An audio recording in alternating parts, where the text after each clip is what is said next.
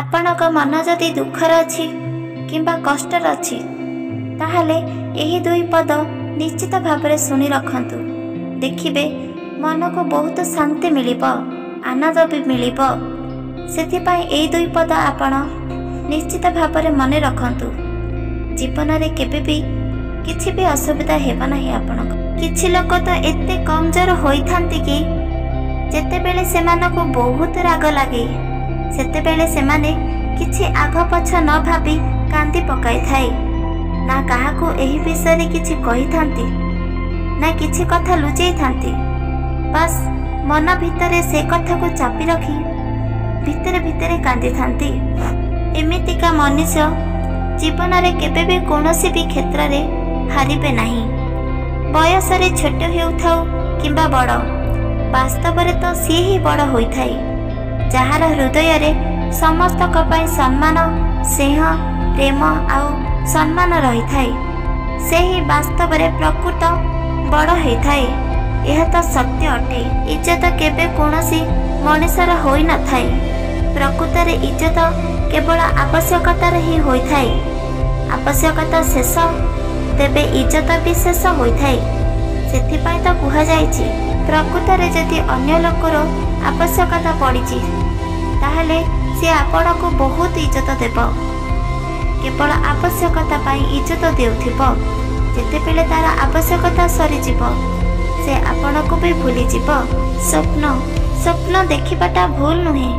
କିନ୍ତୁ ସ୍ୱପ୍ନକୁ ଭାଗ୍ୟ ହାତରେ ଛାଡ଼ିଦେବା ନିଶ୍ଚିତ ଭାବରେ ଭୁଲ ଅଟେ। ବହୁତ ମନୁଷ୍ୟ ଅଛନ୍ତି କି ନିଜେ ସ୍ୱପ୍ନ ଦେଖିଥାନ୍ତି। ଆଉ ସେ ସ୍ୱପ୍ନକୁ ଭାଗ୍ୟ ହାତରେ ଛାଡ଼ି ଦିଅନ୍ତି। ଏହା ତ ସେମାନଙ୍କର ଭୁଲ ଅଟେ। କାହିଁକି ନା ନିଜ ସ୍ୱପ୍ନ ନିଜେ ହିଁ ସାକାର କରନ୍ତୁ। କି ଭାଗ୍ୟ ହାତରେ ଛାଡ଼ନ୍ତୁ ନାହିଁ ଏକଥା ତ ସତ୍ୟ ଅଟେ। କି ଜୀବନରେ କେବଳ ନିଜକୁ ହିଁ ଧୋକା ଦେଇଥାଏ। ସେଥିପାଇଁ ତ କହନ୍ତି ବେଳେ ବେଳେ କେହି ନିଜ ଲୋକ ହିଁ ଜଣାଇ ଦିଅନ୍ତି କି କେହି ନିଜର ନୁହେଁ ବୋଲି। ଏକଥା ତ ସତ୍ୟ ଅଟେ।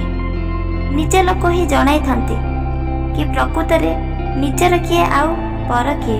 ସେଥିପାଇଁ ତ କୁହାଯାଇଛି କେବେ ବି କାହାକୁ ଅତି ନିଜର କିମ୍ବା ବିଶ୍ୱସ୍ତ କେବେ ଭାବନ୍ତୁ ନାହିଁ। ଯଦି ଆପଣ ନିଜ ଆପଣାର ପରି ଭାବନ୍ତି ନିଜର ପରି ଭାବନ୍ତି ତାହେଲେ ସବୁବେଳେ ଆପଣ ହାରୁଥିବେ ଆଉ ବହୁତ ଦୁଃଖିତ ରହିଥିବେ। ଇତିହାସ ରଚୁଥିବା ପ୍ରତ୍ୟେକଟି ବ୍ୟକ୍ତି ମହାନ ଆଦର୍ଶମାନେ ପ୍ରଥମ ଥର ତ ନିଶ୍ଚିତ ଭାବରେ ବିଫଳିତ ହୋଇଛନ୍ତି। ତାପରେ ଚେଷ୍ଟା ଜାରି ରଖିଛନ୍ତି। ସେଥିପାଇଁ ତ ତାଙ୍କେ ସଫଳତାର ପାହାଚ ଛୁଇଁ ପାରିଛନ୍ତି। ଆଉ ତାଙ୍କର ନାଁ ପୁରା ବିଶ୍ୱରେ ରହିସାରିଛି। ସେଥିପାଇଁ ତ କୁହାଯାଇଛି କି ଜୀବନରେ ଆପଣ ଜୀବନରେ ପ୍ରଥମ ପ୍ରଥମ ଥର ନିଶ୍ଚିତ ଭାବରେ ହାରିଯିବେ। ତାପରେ ଏମିତି ଭାବରେ ଜିତିବେ କି ଏଇ ଦୁନିଆ ଆପଣଙ୍କୁ ମନେ ରଖିବେ। ଏହା ଭାବି ଚିନ୍ତିତ ରୁହନ୍ତୁ ନାହିଁ। ଜୀବନର ହସ ଖୁସି ସହ ମୁହୂର୍ତ୍ତ କଟାନ୍ତୁ। ଦେଖିବେ ଦିନେ ନା ଦିନେ ସଫଳତା ଆପଣଙ୍କ ପାଖରେ ହିଁ ରହିବ। ତେବେ ଯଦି ଆପଣଙ୍କ ଭଳି ହେବାକୁ ଚାହୁଁନ୍ତି ତେବେ ଚେଷ୍ଟା କରିବା ନ ଛାଡ଼ି ବାରମ୍ବାର ଜିତିବାକୁ ଚେଷ୍ଟା କର। ଦିନେ ନା ଦିନେ ଆପଣ ନିଶ୍ଚିତ ଭାବରେ ଜିତିପାରିବ।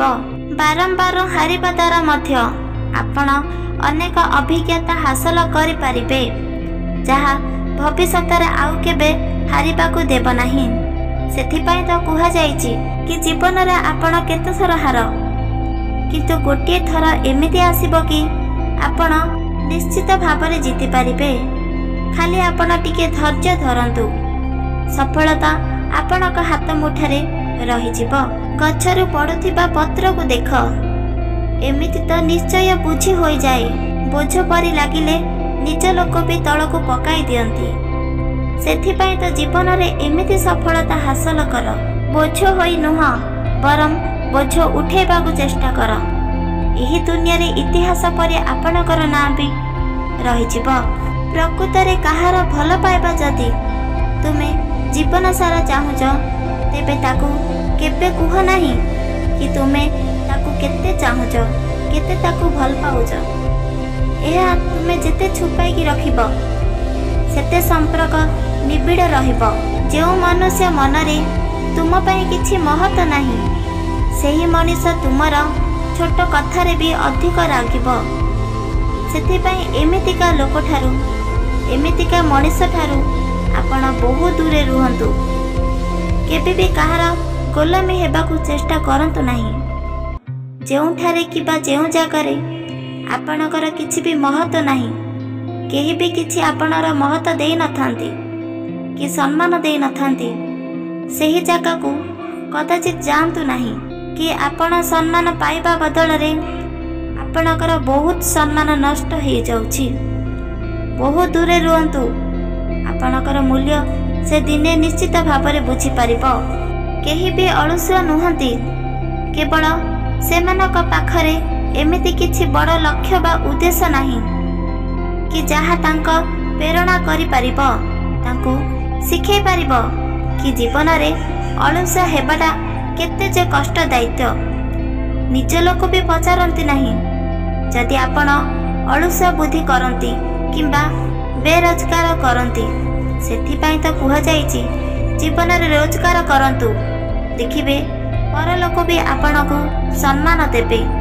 ଆପଣ ପାଖରେ ଯଦି ଅର୍ଥ ଅଛି ଧନ ଅଛି ତାହେଲେ ବହୁତ ଲୋକ ଆପଣଙ୍କ ପାଦ ତଳେ ପଡ଼ିବେ ବହୁତ ଲୋକ ଆପଣଙ୍କୁ ବହୁତ ଭଲ ପାଇବେ ବହୁତ ପଚାରିବେ ବି। ପରିଚୟ ପରିଚୟ ଏପରି ତିଆରି କର ଯେପରି ଲୋକେ ତୁମ ଚେହେରାକୁ ନୁହଁ ବରଂ କେବଳ ତୁମ ନାଁକୁ ନେଇ ପରିଚୟ ତୁଳନା କରିନେବେ। ତୁମ ନାଁକୁ ନେଇ ସେମାନେ ଗୋଟିଏ ପରିଚୟ ଗଠନ କରିଦେବେ।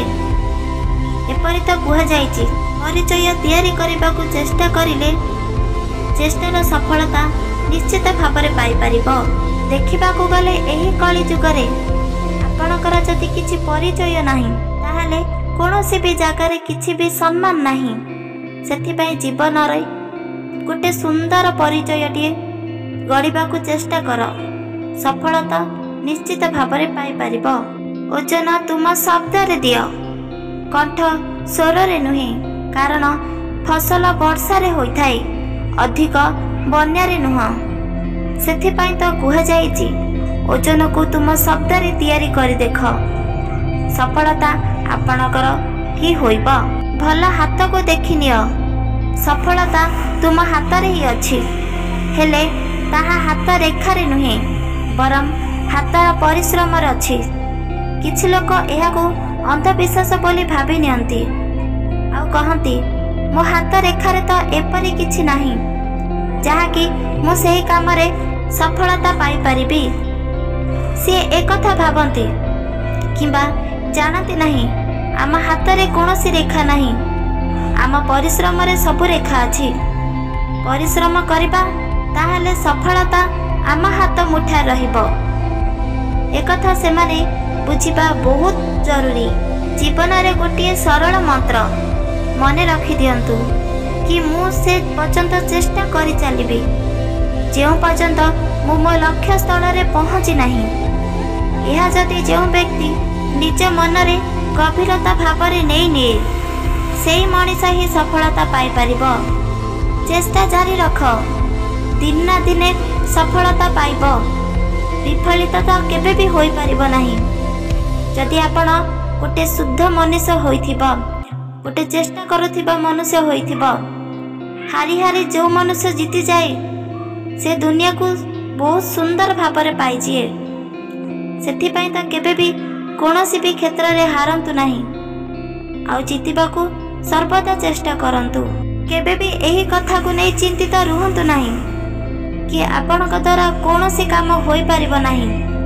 ବରଂ ନିଜକୁ ଏପରି ଗଠନ କର କି ସବୁ କାମରେ ଆପଣ ସାହସ ଧରିବ ଧୈର୍ଯ୍ୟ ଧରିବ।